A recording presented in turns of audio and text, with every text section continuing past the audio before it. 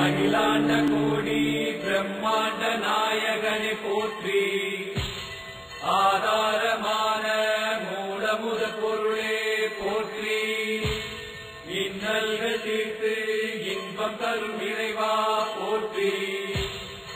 ஈடில்லாத எண்ணீசன் மகனே